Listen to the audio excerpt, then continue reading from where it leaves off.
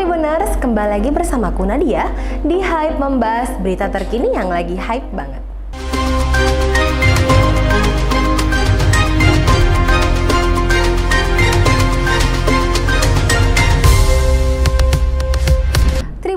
Kematian dari Brigadir J tersebut kasusnya sampai saat ini masih jadi sorotan publik. Hal tersebut pun mengundang komentar atau sorotan dari pengacara kondang Hotman Paris di Tribuners. Dikabarkan Hotman Paris memberikan saran kepada Barada E yang sudah ditetapkan sebagai tersangka dari kasus kematian Brigadir J.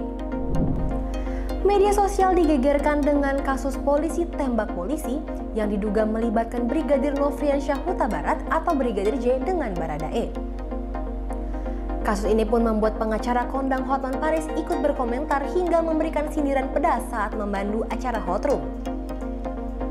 Dilansir dari media sosial Instagram Hotman Paris, ia meminta kepada Baradae sebagai tersangka dan informan penting untuk membuka kasus ini secara terang benderang. Karena menurutnya terlalu berat bila dia hanya sendiri yang menanggung beban tersebut. Simak pernyataan dari Hotman Paris. Halo Baradae, sebelum terlambat agar kamu secara jujur terbuka siapa saja yang sebenarnya terlibat dalam penembakan Brigadir J.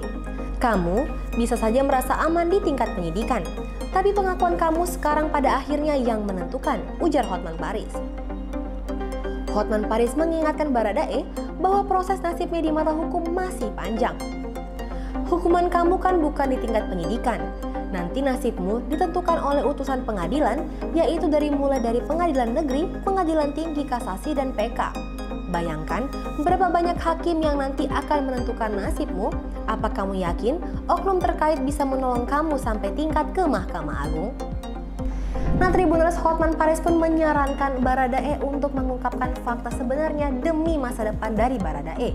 Menurutnya, masa depan Baradae tersebut masih sangat-sangat panjang nih Tribuners.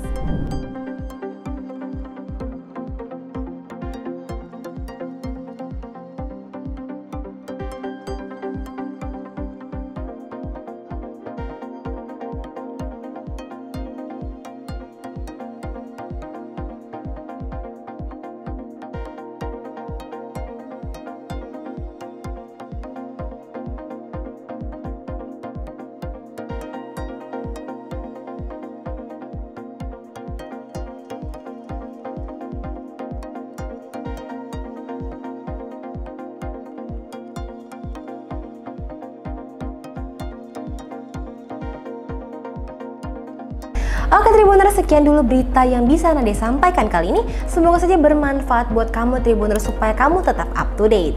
Well Tribuners, jangan lupa buat kamu like, comment, dan subscribe this channel. Jangan lupa juga kamu follow akun-akun yang dibawain Tribuners.